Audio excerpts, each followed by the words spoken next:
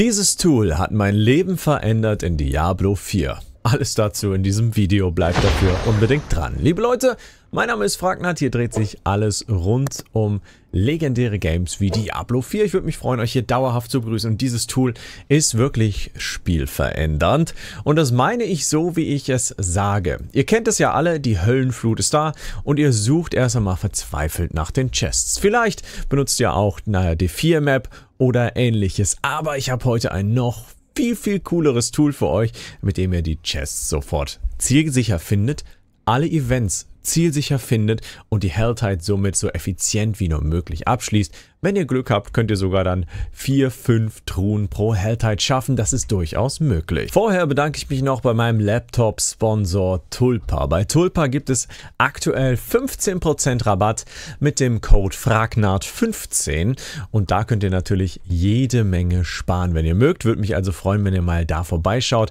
Bei Tulpa geht es auch um Nachhaltigkeit, denn die bieten euch lebenslange kostenlose Wartung an. Ziemlich cooler Service, wie ich finde. Und wenn man überlegt, hier nochmal 15% off, ja, gut, die sind jetzt gerade nicht auf Lager, die aber schon. Dann gibt es für euch da nochmal ordentlich was runter. Gerade bei einem Preis von einem Laptop sind 15% eine ganze, ganze Menge.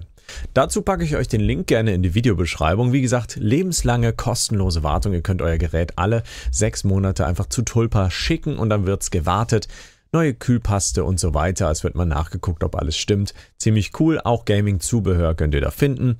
Und ja, gestern gab es auch ein gesponsertes Twitch-Giveaway von Tulpa. Das heißt, sie sind auch da sehr, sehr aktiv, was das angeht. Gerne mal reinschneiden, wenn ihr noch Gaming-Hardware sucht. Ziemlich cooler Partner. Und falls ihr aus Berlin kommt, die haben auch einen Flagship-Store in Deutschland am Alexanderplatz. Würde mich auf jeden Fall mega freuen. Ich finde, das ist ein super cooler Partner, der mich jetzt schon seit Ende letzten Jahres begleitet. Kommen wir zurück zu den Helltides und wie wir die möglichst gut abschließen. Es handelt sich um die folgende Seite helltides.com. Und diese Seite, muss man sagen, ist wirklich imbar. Denn ihr kriegt da nicht nur angezeigt, wann kommt der nächste Weltboss, in meinem Fall in 4 Stunden und 11 Minuten. Ihr kriegt bald auch angezeigt, wann Legionen kommen.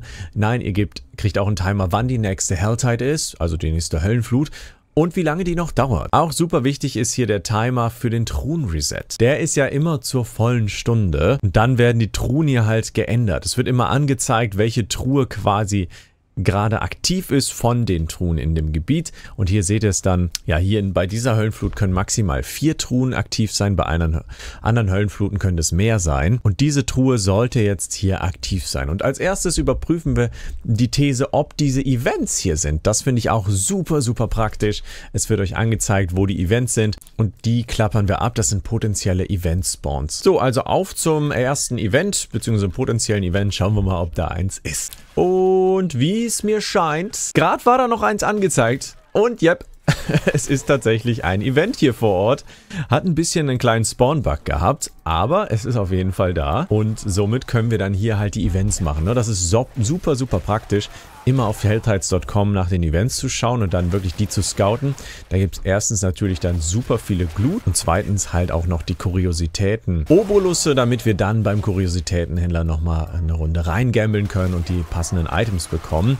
Finde ich extremst nützlich und solche Events sollte man immer mitnehmen. Das lohnt sich gerade bei der Hellzeit natürlich massivst. So, reingelatzt und umgeklatscht. Ein Timer-Event haben wir hier. Es kam übrigens immer häufiger noch die Frage zu meinem Magier, ob ich da noch mal eine Updated Build-Version machen könnte und das möchte ich euch gerne auf jeden Fall bieten, dass ich nochmal im Detail auch auf Stat-Prioritäten eingehe und äh, nicht nur so grob das Ganze abhandle, nochmal in Ruhe, vielleicht mit einem D4 Build Planner äh, möchte ich euch auch nachliefern, wird es auf jeden Fall kommen. Das kann ich an der Stelle versprechen. So, Event abgeschlossen. Wir gehen raus mit 36 Glut. Naja, geht besser. So, laut helltides.com ist hier eine Truhe und da ein Event. Und dann würde ich sagen, überprüfen wir mal die These. Gehen erstmal zu diesem nächsten Event und schauen, ob das da wirklich ist und schauen dann, ob die Truhe da ist. Auf jeden Fall Achtung vor diesen schönen Explosionen. Ich muss sagen, beim Chatlesen im Stream oder so, da stirbt man da doch dann mal gerne. Bin ich immer wieder froh, dass ich Hardcore spiele, äh, nicht Hardcore spiele und mich so auf den Chat konzentrieren kann. Mich würde auch mal wirklich interessieren, spielt ihr Hardcore oder spielt ihr normal? Für Hardcore übrigens nochmal ein kleiner Nebentipp. Auf jeden Fall eure Scroll of Return, eure Fluchtrolle nicht über das normale Wheel triggern, sondern nochmal extra binden, an eine extra Taste binden. Denn so habt ihr nicht die Möglichkeit, dass ihr dann ein Emote macht, anstatt abzuhauen. Das ist vielleicht eine etwas bessere Wahl, muss man sagen. So, hier den kleinen Boss nehmen wir nochmal mit, den Funkenruf. Ja, und hier, wo das andere Event sein soll, ist jetzt aktuell keins. Gestern haben wir das Ganze getestet in einer anderen Höllenflut. Da war es wirklich 100% Trefferchance. Es sind halt nur potenzielle Event-Spawner. Aber auch das mega gut. So, also gehen wir jetzt hier zur Chest, würde ich sagen. Äh, Kommando zurück. Das Event ist gerade gespawnt. Also irgendwie klappt das dann doch echt sehr, sehr gut hier mit der Karte. Wenn man dann ein bisschen hier verweilt, klappt es auch. Also auch hier nochmal eine belagerte Karawane zu machen. Und generell ist die Höllenflut natürlich zu empfehlen, weil die Gegner auch ein bisschen über euch sind. Ja, mal ein Level, mal zwei Level. Ich glaube auch mal drei Level zwischendurch. Das gibt dann auf jeden Fall nochmal ein paar mehr EP als normale Mobs. Die Strategie ist eigentlich ganz simpel. Ihr macht so lange diese Events, ihr klappert die so lange ab mit healthhides.com, bis ihr die 175 Glut zusammen habt. Und dann geht ihr eben zu so einer Truhe. Wichtig ist hier noch zu wissen, ne, zur vollen Stunde ändern sich die Truhen. Und auch das zeigt euch healthhides.com an. Kannte die Seite bis gestern auch noch nicht, wurde mir im Stream von einem Zuschauer geschickt und ich war halt wirklich hellauf begeistert, weil es super praktisch ist, meiner Meinung nach. Immer zu wissen, wo die nächste Höllenflut ist, wann die nächste Höllenflut ist, wo man genau hin muss, das ist einfach extrem stark. Und ich meine, es ist eine coole Idee von Blizzard so mit der Herangehensweise, dass du dir quasi das zusammensuchen musst, wo die seltenen Truhen sind oder das gar nicht erstmal gezeigt kriegst vom Game. Aber dennoch, so, laut Helltides.com ist hier die Kiste. Das Ganze wird dann da so markiert, wie ihr das hier seht. Die leuchtet dann so und ihr könnt hier eben dann abstimmen, ob das stimmt. Ja? Das heißt, ihr könnt dann nochmal, das ist quasi die These von dem Tool, wo die Lampe ist. Ne, die andere hat keine Lampe. Selbiges gilt für das zweite Gebiet unten.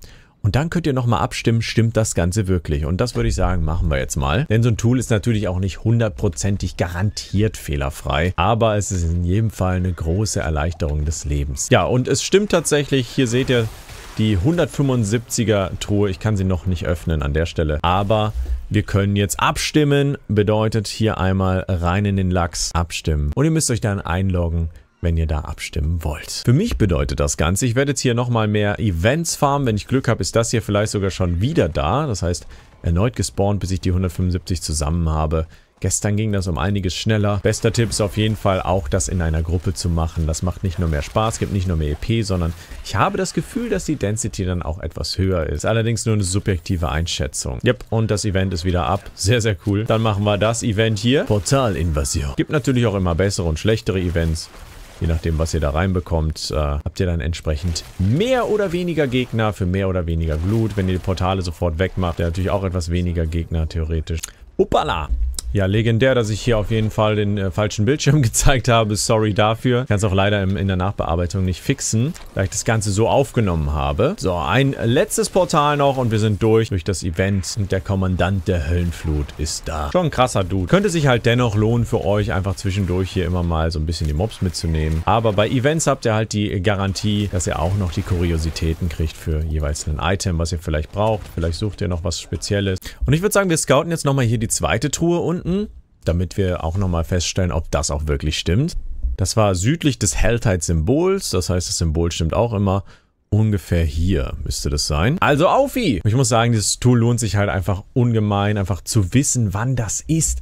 So gut, weil du dir halt nochmal überlegen kannst, mache ich jetzt wirklich noch einen Albtraum-Dungeon? Wann kommt der Boss? Wann muss ich aufpassen? Nimmt einem einfach so viele Fragen von Timing weg, dass man halt sich wirklich einfach nur aufs Genießen konzentrieren kann und sich das im Zweifelsfall sonst in den Kalender schreibt. Auch hier wieder ein Event, was korrekterweise angezeigt wurde. Ist ja legendär. Das nehme ich nochmal kurz mit. So, Kommandant der Höllenflut stirbt. Sehr gut. Die 175 haben wir jetzt auch fast voll. Jo, und Truhe Nummer 2 auch am korrekt angezeigten Ort. Also ich würde sagen, dieses Tool ist wirklich der absolute Oberhammer. Kannte ich selber noch nicht, wollte ich einfach mal mit euch teilen, so ein bisschen die Anwendung, äh, wie ich das für mich benutze. Ich habe halt zwei Bildschirme, das ist optimal. Ansonsten würde ich euch empfehlen, das vielleicht auf dem Handy zu öffnen, wenn ihr nur einen habt, damit ihr halt einfach nicht die ganze Zeit raustaben müsst. Denn ja, gerade auf Hardcore ist es halt super gefährlich rauszutaben, aber auch auf Softcore halt nervig.